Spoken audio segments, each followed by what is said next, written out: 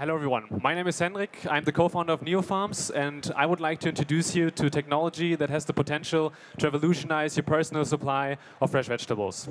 Those fresh vegetables are the basis for your health and uh, for your diet, but their nutritional content and also their taste highly depends on the conditions on the field and what happens in between harvest and consumption. For some vegetables, uh, especially salads, herbs, microgreens, just a few days can lead to great loss of nutrition and taste. And at this point, I don't even have the time to mention all the negative aspects of modern day large scale farming on the ecosystem on the whole planet, and I hope you're all familiar with that. It turns out uh, there's a solution the trend urban gardening that could solve a lot of those problems. But in our urbanized future cities, less and less people will have the access to this, this technique or to a garden at all. This is why in the last years, inventors have started to create solutions like this. Small hydroponic greenhouses that grow some plants uh, for you at home. And while those systems are all great, they're all facing the same problems with the hydroponics that's behind. There are some limitations with the liquid water, uh, with the scalability, and also the taste. Uh, we soon realized this when we started the company, and we found an alternative called aeroponics. Aeroponics is actually used and developed by NASA to grow plants uh, up in space and uses a fine mist of nutrients and fog to supply the plants with everything they need. But until now, aeroponics has been super complicated and expensive. This is why we set out initially to create a patent pending technology that enables us to use aeroponics in a simple home appliance. Our fully automated indoor greenhouse takes away all the effort normally involved with growing your own plants and produces enough salad for a whole family. It's vertical, it's modular, it's easy to use, connected to an app that can tell you everything about the plants that you're actually raising. Let's look at the business side for a second. We want to enter the market uh, using kitchen retailers. They can showcase the system, they can plan it into new kitchen and build it right in, taking a lot of effort away from us. Together with them, we are targeting the top 7% of premium and luxury kitchens. Those add up to 700,000 units sold every year in Europe and America. In Europe, it's still more than 300,000. And in Germany, our first target market, because it's a hometown and also the biggest premium kitchen market, it's still more than 90,000 potential customers every year. Our premium product, together with recurring revenues from seeds and nutrients, create a lifetime value of around 7,500 euros for us. Behind all this is a very diverse team covering everything from biotechnology, industrial design, mechanical engineering, economics, and so on. On top, we're working together with uh, some of the leading experts in product development, brand building, and premium retail. At the moment, we're looking forward to close our seed fund of 800,000 at the beginning of next year, and with that, uh, get the chance to bring home farming into every house all out there. All right, Henrik. Thanks for this healthy pitch. Much. And now, please, the jury, four minutes. Hi, really cool.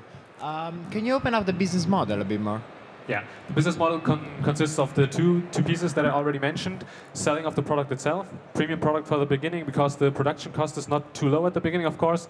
Uh, so we will have the margin there, and then at the end we are selling the seeds, the nutrients, and the other usables that go into using this product the whole time. So there's one-time sale and then recurring revenues over the next years over the usage. Um, what's the use case? Because uh, sometimes this kind of, of, of, products, they're kind of a luxury market.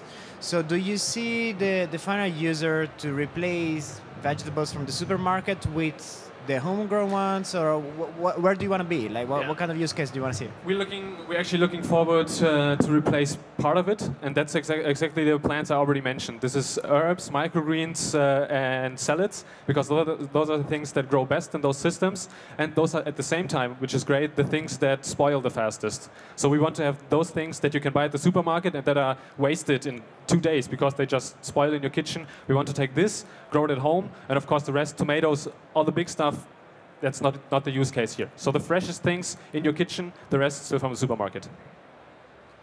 What is the average price for the initial setup if I buy this um, with my kitchen? Yeah, for, uh, for, the beginning, we've, we've done the research in the, the premium kitchen market, uh, and right now we're looking for a retail price uh, to enter the market of 6,000 euros. That's actually something people are very uh, well uh, aware that they're spending for premium products and it's, it's worth it for them. Uh, this will be the initial price. But after that, of course, we hope to, with, with bigger volumes, get the price down and at the end reach the mass market. But this would be with another product coming up, basically. Can you explain a little bit how you have enhanced the NASA technology and what your patent is about? Yeah. Uh, yeah, as you said, it's NASA technology. It's all patented. It's all it's all out there for for decades. Uh, what we've done is uh, simplifying the technology, making it making it easier. So we have one unit that supplies the whole uh, the whole thing with the with the nutrient fog that uh, that that's created, uh, and this the, the the supply and the and the transportation of this mist inside the system. This is what we are what we are what we are basically protecting. Can you tell a bit more about your current stage, like, and what your plans for like the next year, or when do you want to go for for a market, etc. Yeah. The next year will still be all about research and development. We've finished the digital construction of our fourth generation prototype that we want to uh, build a small series at the beginning of next year of 10 pieces.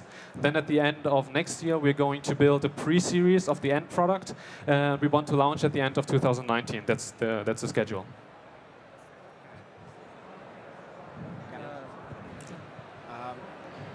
Okay, so you, are you always going to launch together with kitchen appliances, or are you thinking of going also just with just a standalone product? Sorry, what?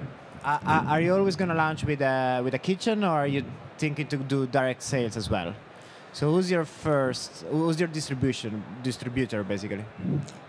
Direct sales is a little bit harder with the product because it's premium, it's expensive, uh, and it's new technology. So have, we feel like you have to touch the technology. This is why we're bringing it through the retail.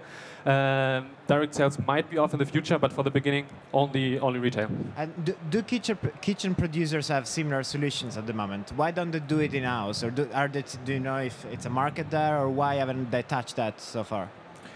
I think they're slowly starting to touch it. We know that they're interested in the technology, and we know at least of one uh, one company that's looking forward uh, to to do things like that. But it's all not not in the same scale. They're doing other systems, pot style systems, uh, not this fridge. And that's it, Henrik. Thanks so Thank much. you very much. Neofarms.